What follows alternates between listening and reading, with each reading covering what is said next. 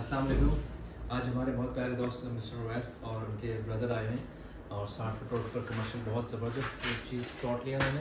उसके थम और signature lease transfer का प्रोसेस होता है। वो थम और सिग्नेचर का प्रोसेस हो रहा है। Hopefully as soon as possible इनके नाम लीज ट्रांसफ़र भी आएगा, फिर उनको फिर दोबारा बुलाएँगे। Thank you